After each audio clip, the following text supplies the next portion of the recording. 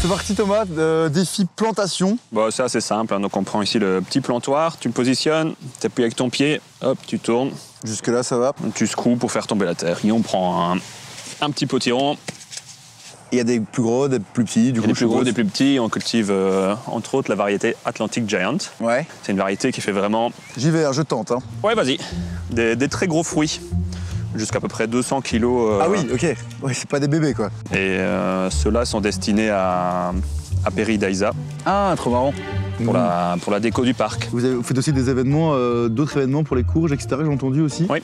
Donc, euh, début septembre, on organise une euh, festivité. Ouais. Ça s'appelle la fête de la courge à Lens. Génial. Et là, c'est un- une petite parcelle qui est en, en autocueillette. Les gens viennent, on prête euh, sécateur brouette, ils choisissent ce qu'ils veulent. Et c'est la fête à la, à la potiron. Ouais, c'est le 8-9 septembre. Et j'ai entendu aussi que tu avais une anecdote sympa à me raconter avec Peredaisa et ta grand-mère. Oui, notre grand-mère est née au parc quand il y avait encore une exploitation agricole. Et du coup, ta grand-mère, j'ai entendu qu'elle avait encore même les clés, ça y est, je fais tout tomber, de, de, de, de Paradisa en fait. Oui, elle a toujours la clé euh, de l'entrée principale. Énorme, génial. Comme ça, on peut y rentrer quand on veut. C'est trop bien. Bah écoute, euh, je pense que c'était un défi plutôt sympa. Moi j'ai kiffé.